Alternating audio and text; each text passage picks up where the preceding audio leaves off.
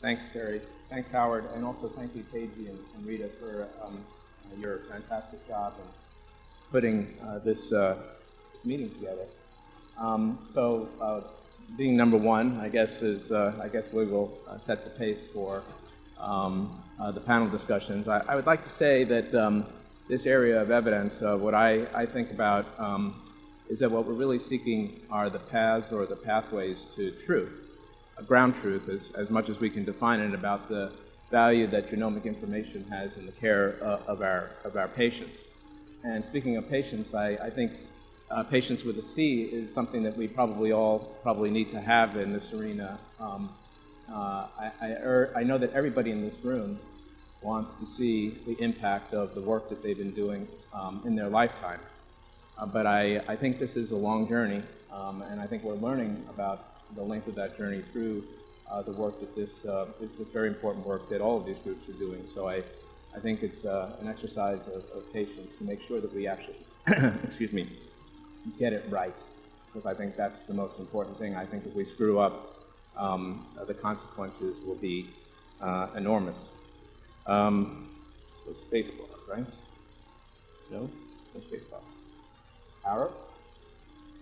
Arrow? No arrow. Um, any other any other keys that I should be pressing? I tried that once. Eric. Ah. Uh, try um, eject. oh, okay. We're getting closer. Another. Spacebar.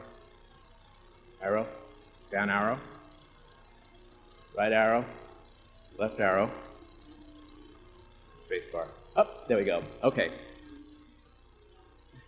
I think that last one, it was a space part, but it had to, uh, it had to learn my touch, I think, or something like that. Uh, so I am, um, I think it's terrific to have a panel uh, that we have today. Um, uh, the names of my colleagues are here. So Jonathan Berg from um, University of North Carolina, uh, um, who is, runs the uh, clinical cancer and adult genetics clinics there and is involved in several NHGRI projects. Um, we're really honored to have Pierre Meulien here, who's the president and CEO of Genome Canada and um, uh, uh, also grateful for Gurvaneet um, um, from AHRQ uh, sharing his experience in, in evidence uh, generation. Um, I think actually one thing this panel highlights is the fact that uh, despite the, uh, the myths that Duke and UNC are, are, rivals with one another, this panel highlights the fact that we can actually collaborate. And there's all, actually a number of collaborations across, that take place across the great uh, divide in North Carolina uh, academically. But I feel like I need to remind you that we did win the NCAA basketball championships this year. Um, so in sports, um, uh, uh, no such thing. So I don't know if any of you were uh, reading the New York Times yesterday, but in the Sunday Review section, I, I caught this uh, article how um, the theoretical physics community is, is actually in its own evidence debate.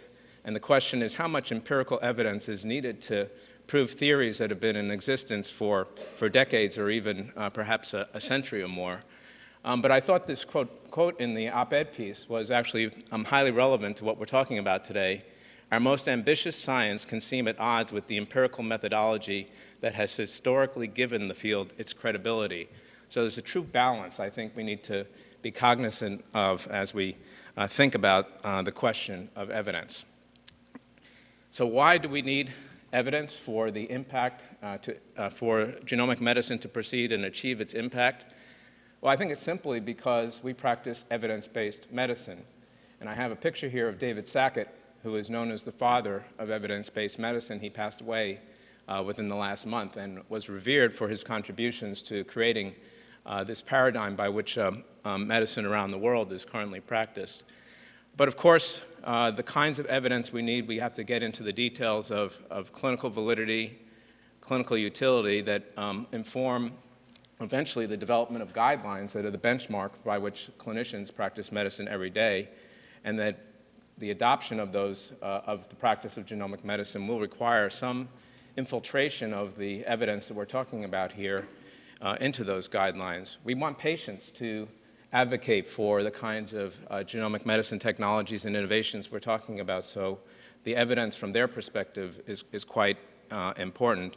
And as we'll discuss, I think, at greater length, the, the payers and the regulators are going to um, play critical roles in, uh, in the evidence discussions and how um, uh, regulatory approval and reimbursement is achieved. And then uh, well, a, a, notion that we'll come to in a few moments is the notion of pre-implementation evidence as a gateway to um, uh, the broader evidence generation that will ultimately impact uh, dissemination. So I think it was uh, the CDC in about 10 years ago, or at least I became, first became aware of this uh, evidentiary framework from the CDC about 10 years ago. Uh, probably was associated with EGAPP. Uh, people associated with EGAPP would know better than I. That, um, well, that's not really projecting very well, I'm, i apologize. But uh, the word analytic validity should be um, projected on the, on the, on the second circle in, the, in the lower right-hand quadrant. Um, but it's clear that uh, different groups have taken ownership, uh, different stakeholders have taken ownership of the evidentiary framework. So we have uh, groups like uh, uh, CMS and CLIA uh, focused on, on the laboratories and Uh, the ability to achieve analytic validity, that the, that the test is, is reproducible and precise and robust.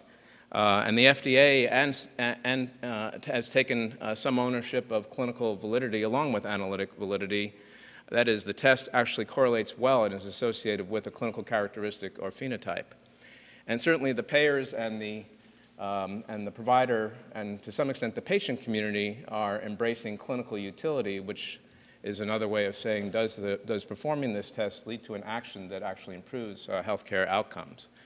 And while there are a number of elements of this framework, I guess the question that we will be asking today is, uh, how do we get alignment of what the actual goals for evidence are across this continuum from analytic validity, clinical validity, and clinical utility, and can we engage this community uh, in this important discussion.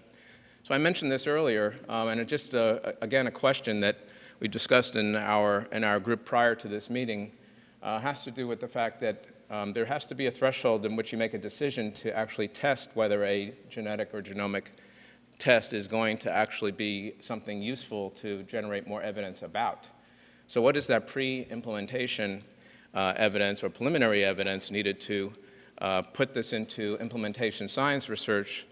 And then, then what is the evidentiary threshold um, that is targeted for uh, widespread dissemination and perhaps uh, adoption?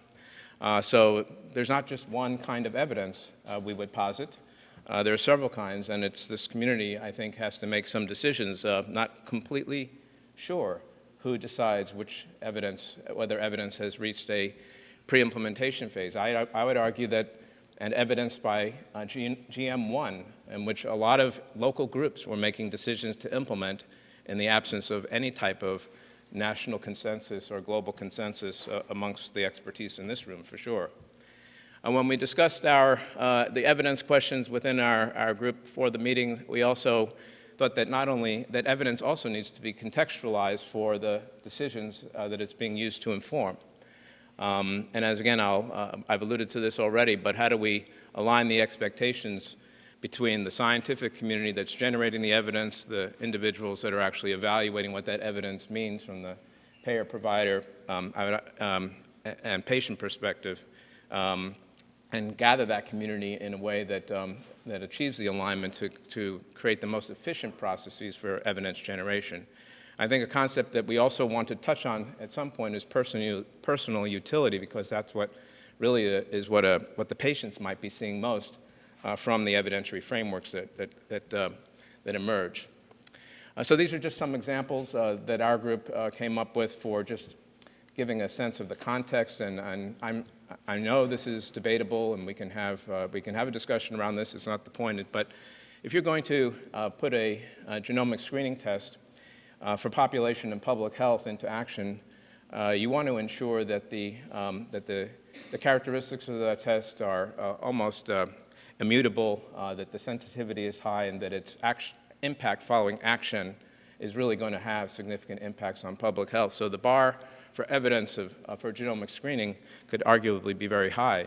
Same could be said for selecting, uh, using genomic testing as the basis for selecting an, uh, an, not only an expensive, potentially expensive 100K per year type of um, molecular uh, targeted therapy, but also one that might um, be critically important for a single decision that a patient has uh, around their mortality from a disease. So the evidentiary threshold might be quite high there as well. Whereas in other situations um, where the risk of, of the risks uh, uh, associated with uh, making the wrong decision uh, could arguably be tolerable and, and less impactful, the bar could be lower. So around the use of genetic risk testing to modify behavior or to maybe um, optimize pain control um, for patients at the end of life. Uh, maybe that's a medium bar. I don't know, but it's. But I think it, the point is just to kind of contextualize these uh, these decisions.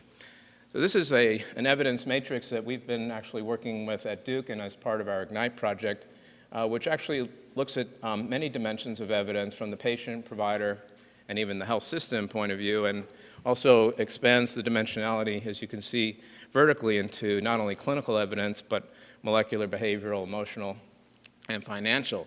I guess I would argue that the vast majority of clinical studies mainly use the upper left-hand box for, as endpoints, that we focus mainly on the, on the changes in clinical characteristics, which is our comfort zone perhaps, and maybe where we have the greatest tools.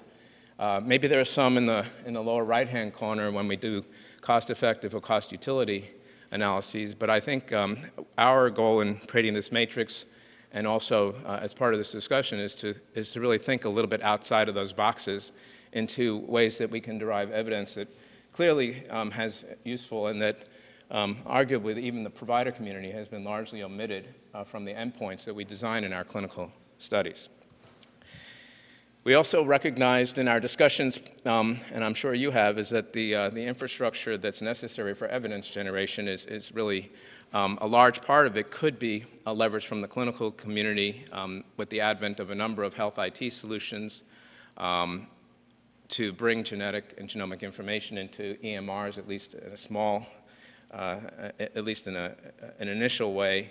Um, the use of a, a, variety of technologies which are allowing patients to, to report their outcomes uh, is becoming increasingly important. And, and again, um, finding that uh, sort of a sweet spot in the Venn diagram of clinical uh, care and clinical research to leverage the, uh, the activities of a health system as a way to also be uh, an evidence uh, generation engine. So who is the, addressing this topic across the spectrum of uh, NHGRI programs? I've, I list some of them here. Um, I'm not going to go through them, a lot of them Teri mentioned in her opening remarks. And I really applaud the um, the thinking behind developing this matrix, but as, uh, as, as, we discussed it amongst our group, um, I got a lot of pushback by trying to identify which of the NHGRI communities were actually contributing to evidence, because uh, I think there's a lot of discussion and debate about which of these activities are actually evidence-generating activities, among other things. But I would say a vision for where we want to be at the end of this meeting is to think about how do we organize um, all the rich talent, and data that is being generated across the multitude of programs represented by all of you into a, um, a consortium of consortiums or something that we, uh, some, by some mechanism that allows us to really pool the kinds of evidence that we're generating and, and, and leverage the uh, strengths and, uh, uh, into synergies that will uh, be evidence promoting. So the next couple of slides are gaps and barriers, and I don't want to be too, make it, make it too depressing because there are many. Um, and, uh, and I'm not going to go, go through them in any great detail. I hope this is the richness of our discussion that will happen uh, after uh, I'm done speaking. But the first one is a simple conundrum or paradox is that to implement, uh, you need evidence, and to generate evidence, you need implementation. So there's a, there's a, there's a problem there or a challenge there we need to solve. And I, I highlighted it earlier with um, uh, the pre-implementation uh, uh, evidentiary threshold idea.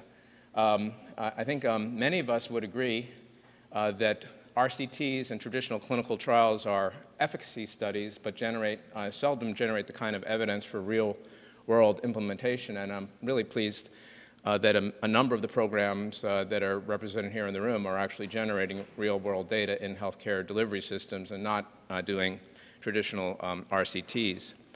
Um, we need to be cognizant of the uh, particularly in um, high dimensional data sets and the kinds of multi-marker um, panels that some of us are involved in using uh, of the power and design of the studies to really achieve the notions of clinical validity and clinical utility.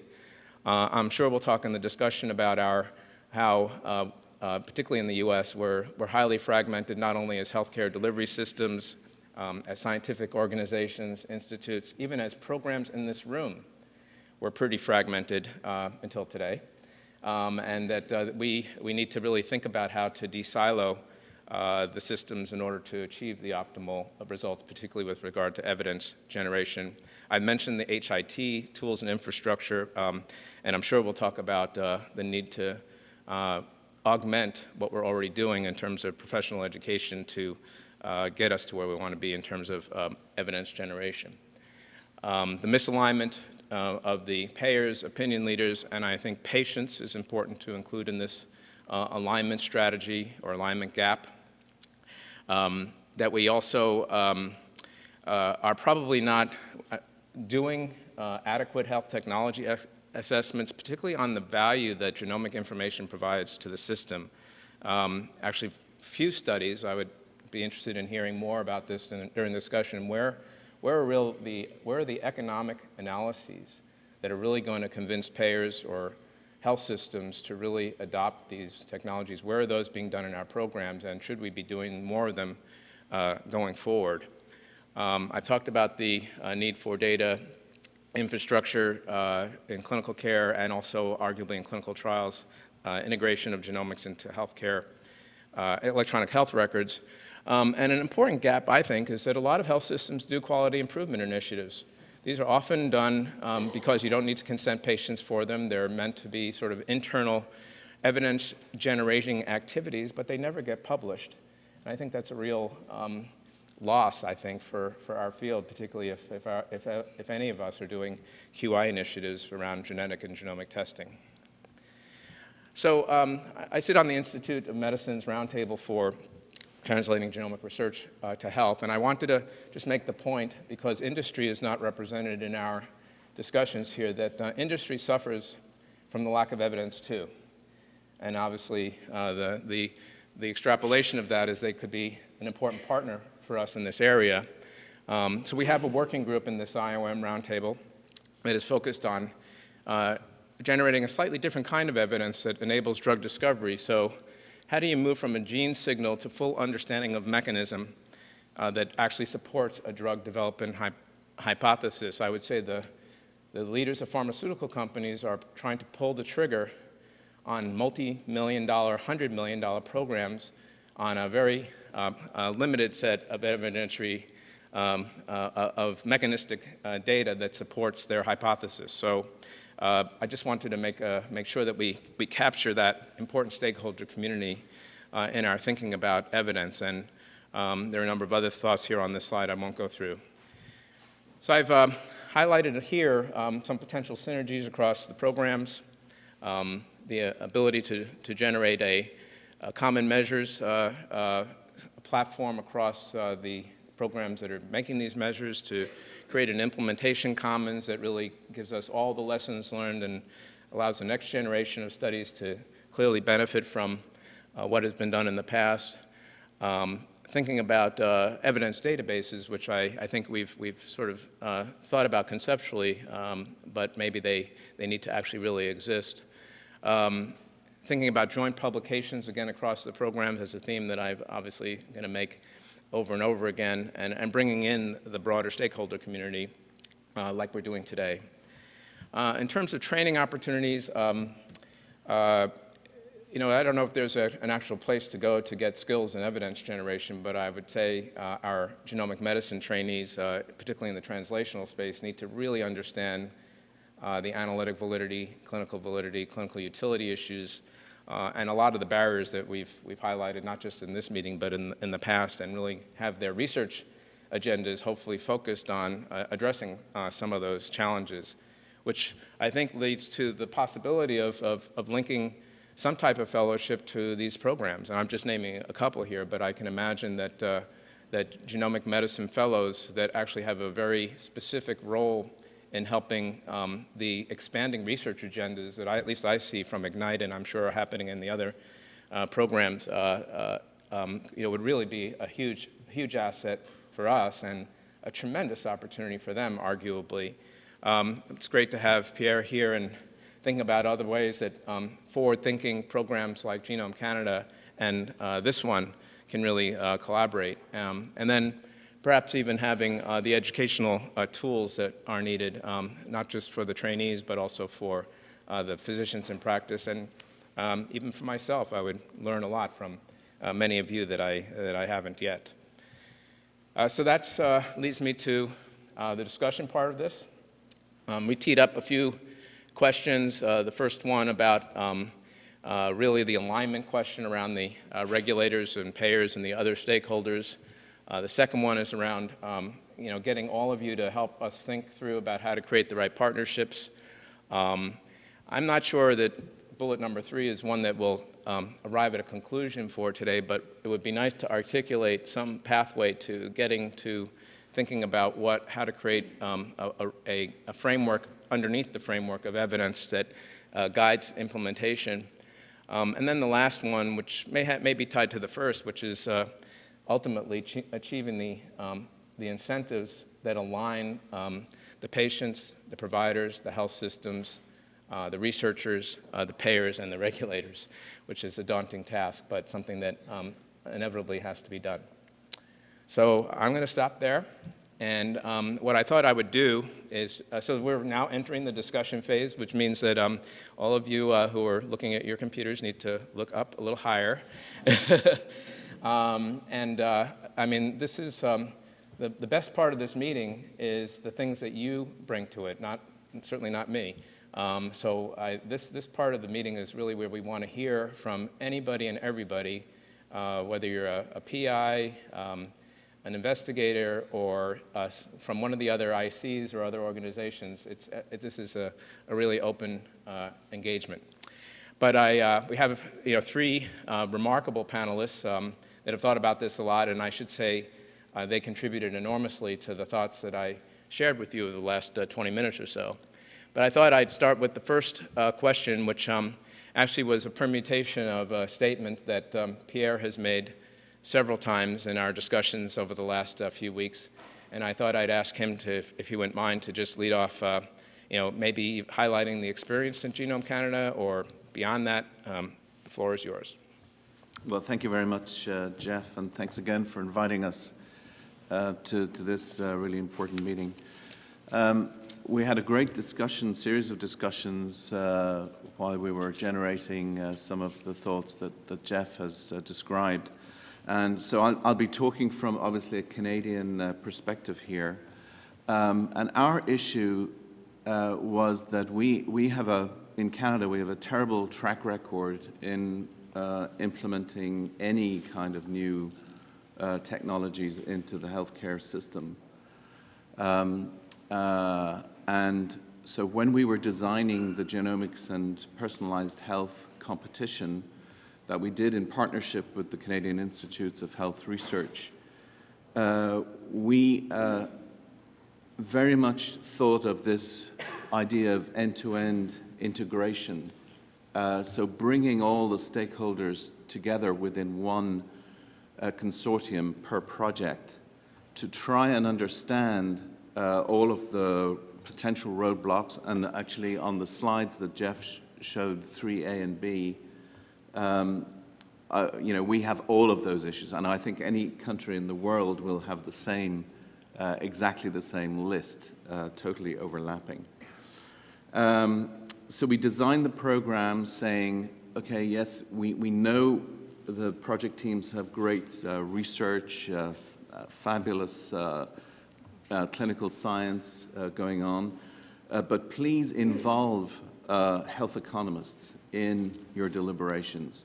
Please involve those who are going to look at the social, economic, and legal aspects of what you're doing, because there might be regulatory uh, jurisdictional hurdles that um, you're going to come across. We want to know those up front. So we were lucky in the, in the, uh, in the program that we were able to raise um, $150 million to, to, to run this program. Uh, it involves 17 projects that are uh, ongoing right now. We're about halfway through. And we just decided that we would build, uh, and I know some of you have been directly involved in this program, and I'm looking at Teri and Dan and Eric, uh, Howard, I, I, learned today that Jonathan was a reviewer, uh, and, and there are probably many others of you who have been, who have been directly involved in this program, so thank you. Um, but really to uh, try and um, uh, get that end-to-end -end kind of integration of thinking, uh, and we're, we're just about to launch a, a network uh, so a network of these uh, mini consortia uh, to try and learn from, uh, from, uh, from each other in terms of what, are the, what the roadblocks have been or are. So we have, in Canada, the, the health delivery is a provincial mandate. And currently, some of the provinces are spending about 50% of their budget on healthcare delivery.